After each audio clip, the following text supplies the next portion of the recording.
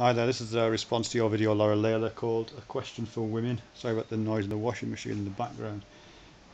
Yeah, I'm, obviously I'm not a woman, so I'm not speaking with any great authority on that topic, and I'm not really speaking for all men either. It's just a, a personal perspective, really. But, uh, but it seems to follow on some of the, the stuff I've been thinking about recently to do with objects, objectification, the value of objects, what kinds of objects we produce when we do objectify, you know, metaphorically and literally you know that whole that whole set of stuff really. Because in principle you know there wouldn't be a problem with seeing another person as an object depending on how we regard that object and whether we um, treat that object you know how we how we treat that object that once we've created it. Um, the problem with with creating some, um, some a person primarily as a visual object as I was trying to get at in a previous video is that necessarily visualizing and creating a rendering a person as a visual image pushes them outside of the body you know because that's what visual vision does. It it separates and it excludes and it places a person at a safe remove.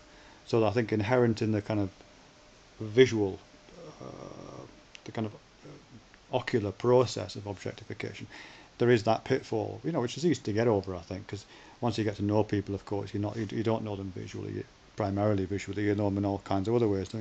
So, um, but but but an appeal to a to a primarily primarily visual form of objectification does carry that pitfall, which, as I say, I think it's possible to get over. I think that's particularly a problem if it's exacerbated by existing power relations, which many people would say are in place in a in what people would, I guess, would refer to as a as a kind of paternalistic or a um, a male-centered society. You know, if if you do think that is the case, that we've got that.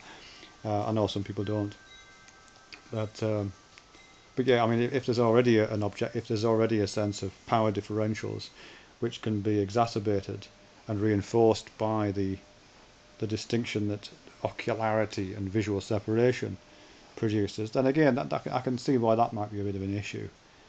Um, and then there's, this thing about what kind of an object is being produced. And here I suppose I'm borrowing from your comments to do with uh, cosmetic surgery, makeup, certain kinds of clothing that uh, women wear um, or, or want to wear, seen to wear, or encouraged to wear, whatever, you know, sort of sluttish fashion or whorish fashion, I think is the word you, you used.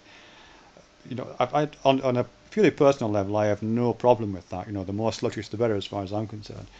Uh, on a on, on a purely visual level. But um, but there is a problem with it in terms of what those fashions are about, because female fashion quite often, and you know any of the footage from the slut walks, recent slut walk seems to bear this out. Female fashion always seems to be about disempowerment, and I mean kind of literal disempowerment, almost disabling in some ways. You know, high heels are designed to disable and prevent you from walking properly. It seems to me. I mean, they do other things as well. They make they make the shape of the silhouette particularly attractive but they also cripple you, don't they? I mean, they, they stop you walking fast. Um, you couldn't walk through the mud you walk through if you were wearing, um, you know, st stilettos, could you?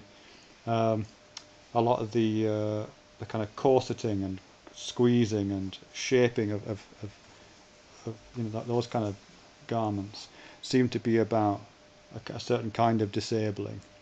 Um, and even things like scooped neckline you know, it seems to be about vulnerability and demonstrating a kind of vulnerability. I know it's also about alluding towards the breasts, all those things, but there's a certain kind of vulnerability being suggested there. So, so the implicit in some of the fashion, I think, and sluttish fashion particularly, and perhaps why it's so attractive, is because it's uh, it's it it produces that kind of the hallmarks, the, the, signs of, uh, as I say, powerlessness and disability and fallenness. You know what I mean? Fallenness. A lot of female fashion looks like it's half fallen off you. You know what I mean?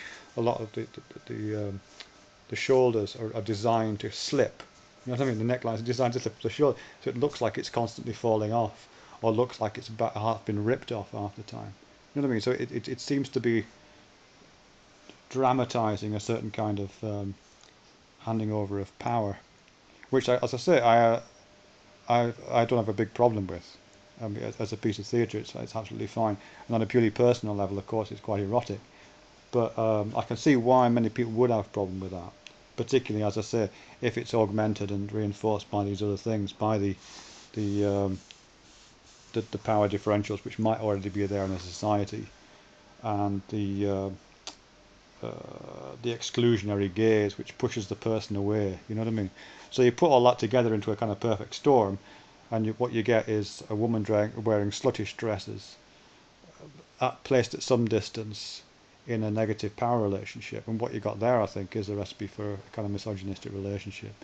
Um, it, it, I think it's, yeah, I don't think it's entirely down to women to band together and stop dressing like tarts. I don't want you to do that. That would be a shame. Um, okay, if you want, but um, you know, I think there's, there's, I think it's, I think it's a, a broader um, project. Make sense? I don't know.